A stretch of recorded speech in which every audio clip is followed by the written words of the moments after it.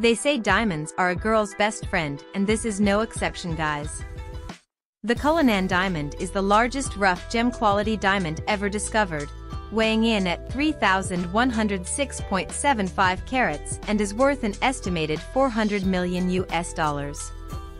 It was found in South Africa in 1905 and was named after the chairman of the mine where it was discovered, Thomas Cullinan.